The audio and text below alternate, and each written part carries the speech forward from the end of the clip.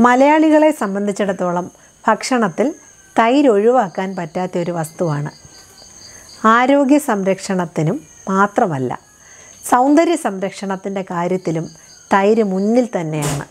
ഞാൻ doctor Sreela Ayushree Ayurveda hospital Pathanapuram.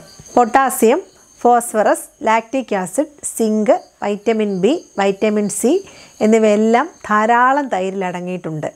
മാത്രവുമല്ല അരുണ രക്താണുക്കളുടെ സംരക്ഷണത്തിനും നാഡീശൃംഖലയുടെ പ്രവർത്തനം മെച്ചപ്പെടുത്തുന്നതിനും സഹായിക്കുന്ന വൈറ്റമിൻ ബി ട്വൽവും തൈരിലടങ്ങിയിട്ടുണ്ട്.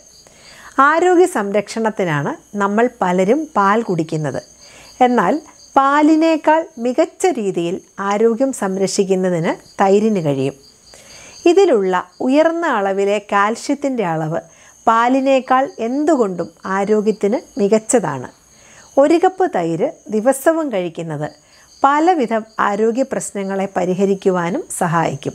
എല്ലിന്റെ ആരോഗ്യത്തിന് വളരെയധികം സഹായിക്കുന്ന ഒന്നാണ് തൈര്. ഇതിൽ ധാരാളം കാൽഷ്യവും വൈറ്റമിൻ ഡിയും അടങ്ങിയിട്ടുണ്ട്. ഇവ എല്ലുകളുടെ ഉറപ്പും ആരോഗ്യവും നിലനിർത്തുകയും തേയ്മാനം പോലെയുള്ള പ്രശ്നങ്ങൾക്കും പരിഹാരം കാണുന്നതിന് സഹായിക്കും. ദഹനം നടക്കാത്ത അവസ്ഥകൾ നമ്മളിൽ പലർക്കും സംഭവിക്കാറുണ്ട്. ഇതിനെല്ലാം പരിഹാരം കാണുന്നതിന് സഹായിക്കുന്ന ഒന്നാണ് തൈര്. തൈര് കഴിക്കുന്നത് ദഹന സംബന്ധമായ പല പ്രശ്നങ്ങൾക്കും പരിഹാരം കാണുന്നതിന് സഹായിക്കും.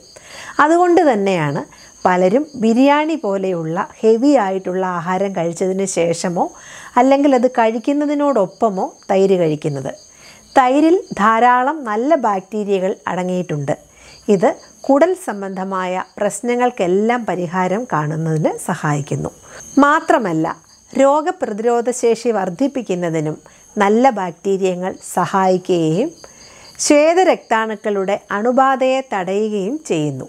മാത്രമല്ല ഇതിലൂടെ രോഗപ്രതിരോധ ശേഷി വർദ്ധിപ്പിച്ച് ആരോഗ്യത്തിന് വില്ലനാകുന്ന പല അവസ്ഥകൾക്കും പരിഹാരം കാണുന്നതിനും നമ്മെ സഹായിക്കും. തൈരിൽ അടങ്ങിയിരിക്കുന്ന നല്ല കൊഴുപ്പ് ആരോഗ്യത്തെ ഏറ്റവും അധികം സഹായിക്കുന്ന ഒന്നാണ്. തടി കുറയ്ക്കുവാൻ സഹായിക്കുന്ന ഒന്നാണ് തൈര് എന്ന കാര്യത്തിൽ സംശയം വേണ്ട. തൈരിൽ ധാരാളം ആന്റി ഓക്സിഡന്റുകൾ അടങ്ങിയിട്ടുണ്ട്.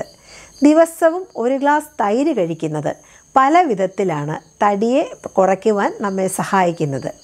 ഇത് ശരീരത്തിലെ കൊഴുപ്പിനെ ഇല്ലാതെയാക്കി അമിതവണ്ണമെന്ന പ്രതിസന്ധിക്കും പരിഹാരം കാണുവാൻ സഹായിക്കും.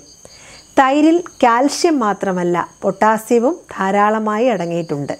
ഈ പൊട്ടാസ്യം രക്തസമ്മർദ്ദം കുറയ്ക്കുവാൻ സഹായിക്കും. യോനിയിലുണ്ടാവാറുള്ള ഈസ്റ്റ് അണുബാധ ഒരു പരിധിവരെ കുറയ്ക്കുവാൻ തൈര് കഴിക്കുന്നത് കൊണ്ട് കഴിയും. ഉറക്കം കുറയുന്നത് കൊണ്ടോ ഉറക്കം അധികമാകുന്നത് കൊണ്ടോ മറ്റു പല കാരണങ്ങൾ കൊണ്ടോ കണ്ണിന്റെ അടിയിൽ ഇരുണ്ട നിറമുണ്ടാകുവാൻ സാധ്യതയുണ്ട്. തൈരിൽ അടങ്ങിയിരിക്കുന്ന പോഷകങ്ങൾ പ്രത്യേകിച്ചും സിങ്ക് ലാക്റ്റിക് ആസിഡ് എന്നിവ കണ്ടടങ്ങളിലെ കറുപ്പ് മാറ്റുവാനും നമ്മെ സഹായിക്കും. അതുപോലെ തന്നെ ചർമ്മത്തിന്റെ നിറം വർദ്ധിപ്പിക്കുവാനും തിളക്കം വർദ്ധിപ്പിക്കുവാനും. മുമ്പേ ഞാൻ പറഞ്ഞ പോലെ കണ്ണുകളുടെ അടിയിലെ കരിവാളിപ്പ് വലിയ അളവിൽ നീക്കം ചെയ്യുവാനും നമ്മെ സഹായിക്കും. മുടിയിൽ താരൻ വരുവാനുള്ള പ്രധാന കാരണം ഫംഗസിന്റെ സാന്നിധ്യമാണ്. തൈര് പ്രകൃതിദത്ത ആന്റി ഫംഗൽ ഏജന്റ് ആയതിനാൽ ഫംഗസിന്റെ വളർച്ച തടയുകയും അങ്ങനെ താരനില്ലാതെ ആരോഗ്യമുള്ള മുടിയും തലയോട്ടിയും നൽകുകയും താരൻ മൂലമുണ്ടാകുന്ന ചൊറിച്ചിൽ കുറയ്ക്കുവാനും സഹായിക്കും. തൈരിൽ സിങ്ക് അടങ്ങിയിട്ടുള്ളതിനാൽ തലയോട്ടിയിൽ രക്തചംക്രമണം ഉത്തേജിപ്പിക്കുകയും ചെയ്യുന്നു. മുഖക്കുരു എന്നത് വളരെ സാധാരണമായ ചർമ്മ പ്രശ്നങ്ങളിൽ ഒന്നാണ്. വേനൽക്കാലത്ത് പൊടി ചൂട് എണ്ണ അഴുക്ക് എന്നിവ ചർമ്മത്തിൽ പറ്റി നിൽക്കുന്നതിനാൽ മുഖക്കുരു പഴുത്തു പൊട്ടുവാനുള്ള സാധ്യത വളരെ കൂടുതലാണ്. അതിനാൽ വേനൽക്കാലത്ത് ചർമ്മത്തെ ശുദ്ധമാക്കുന്നതിനും ജലാംശം നിലനിർത്തുന്നതിനും തൈര് വളരെ നല്ലതാണ്. രാത്രികാലങ്ങളിൽ തൈര് കഴിക്കുന്നത് നല്ലതല്ല. എന്നാൽ കഴിക്കേണ്ട സാഹചര്യം വന്നാൽ ചെറുപയർ നെയ്യ് എന്നിവയുടെ കൂടെ മാത്രമേ രാത്രിയിൽ കഴിക്കാവൂ. പതിവായി രാത്രിയിൽ തൈര് കഴിക്കുന്നത് താരൻ മുടികൊഴിച്ചിൽ ആസ്മ ത്വക്ക് രോഗങ്ങൾ തുടങ്ങിയവ ഉണ്ടാക്കുവാൻ സാധ്യതയുണ്ടാകാറുണ്ട്. സാധാരണ നമ്മൾ തൈര് കഴിക്കുന്നത് ഉപ്പോ പഞ്ചസാരയോ ചേർത്താണ്. എന്നാൽ ഇവയുടെ ഉപയോഗം ഉദ്ദേശിക്കുന്ന ഫലം നൽകണമെന്നില്ല. അതിനാൽ തൈരിനൊപ്പം ഇന്ദുപ്പോ പഞ്ചസാരയ്ക്ക് പകരം ശർക്കരയോ കൽക്കണ്ടമോ ചേർത്ത് കഴിക്കുന്നതാണ് ഉത്തമം. സാധാരണ വീട്ടമ്മമാർ ചെയ്യാറുള്ള ഒരു കാര്യമാണ് തൈര് ഉറവച്ച ശേഷം പുളി കൂടിപ്പോയാൽ വീണ്ടും പാൽ ചേർക്കുക എന്നത്. ഇത് വളരെ തെറ്റായ ഒരു കാര്യമാണ്. ഇതുവഴി തൈരിന്റെ സർവഗുണങ്ങളും നഷ്ടപ്പെടുകയാണ് ചെയ്യുന്നത്.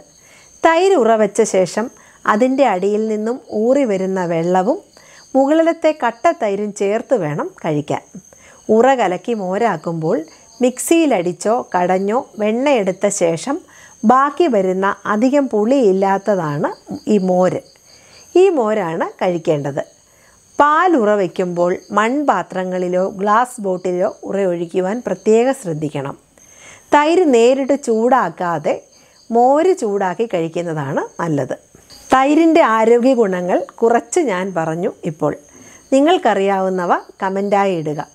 മറ്റുള്ളവർക്ക് കൂടി ഉപകാരമാകട്ടെ. മറ്റുള്ളവരുടെ അറിവിലേക്ക് കൂടി ഷെയർ ചെയ്യുക. മറ്റൊരു വിഷയവുമായി വീണ്ടും കാണാം. നന്ദി.